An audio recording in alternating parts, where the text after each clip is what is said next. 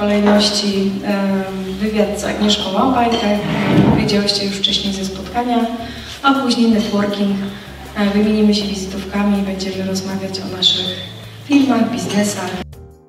Przedsiębiorca to złodziej i w ogóle na pewno Wam by się nie udało, gdybyście nie robili jakichś lewych biznesów i tak dalej. Czy spotykasz się z takimi zarzutami, czy to już pieśń przeszłości jest Na pewno jest to już pieśń przeszłości, choć się rzeczywiście z takimi e, opiniami też spotykałam, natomiast dziś już tego nie słyszę. E, mm, myślę, że to są jakieś takie stereotypy, które mam nadzieję zanikają, bo, bo, bo ja widzę, że to, e, to zanika.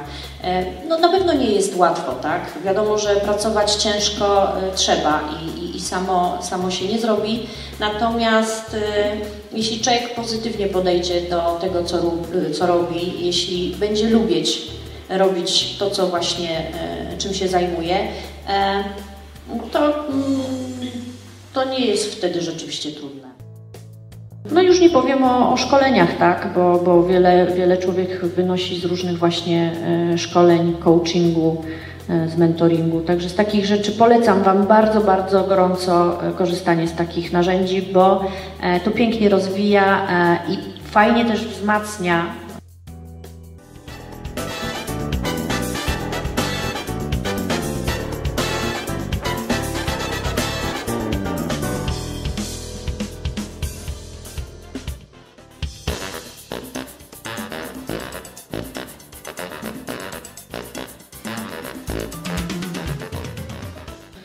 Jak się wygrywa z konkurencją?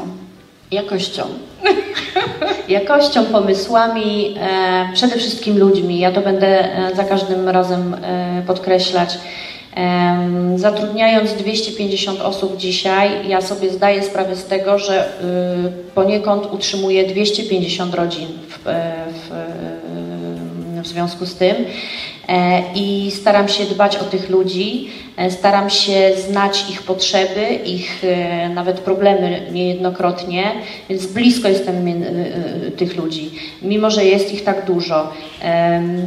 I to jest sukces. Przede wszystkim ludzie, zaangażowanie tych ludzi właśnie w, w pracę, no i utrzymywanie tej jakości.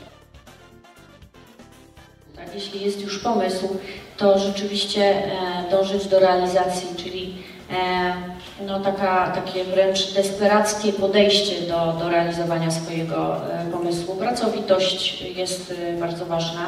Korzystajmy z porad e, specjalistów w danej dziedzinie. Ufajmy ludziom i dajmy im szansę, żeby nam podpowiedzieli. Specjaliści bardzo nam są potrzebni, bo przecież nie wszystko musimy wiedzieć i tego nie jesteśmy w stanie zgłębić całej wiedzy.